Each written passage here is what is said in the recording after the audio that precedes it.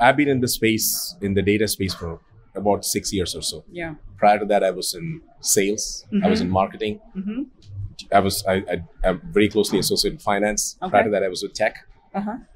What I am very excited about is the future Mm-hmm. that AI has to offer us. But what I'm equally concerned is what it would mean to the future of some of our jobs. Yeah. So one of the things I'm very passionate is about giving back to the society because a lot of jobs are going to change Yes. over the next decade. Uh huh. And I personally don't think we are prepared for that.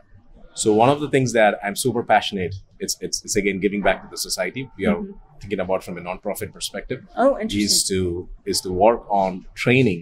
Mhm. For example, if I, when I look at finance, I can easily see how some of these finance jobs are going to look very different. Yes. But when I look at what are the training programs to get them from point A to point B, Mhm. I don't see it. So I'm very passionate about giving back to the society and investing.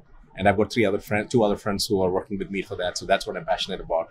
I'm very excited about the future of AI, Yes. but at the same time, I want to give back to the society and help the people to adopt to the age of AI. What type of advantage do you think that you have that you have held several roles outside of data science and AI before you've joined this space as a leader compared to perhaps maybe some of your peers who have been kind of on a steady path throughout their entire career because I, I think that puts you at a unique advantage. Yeah. So when my when my when my clients ask me something, Mhm.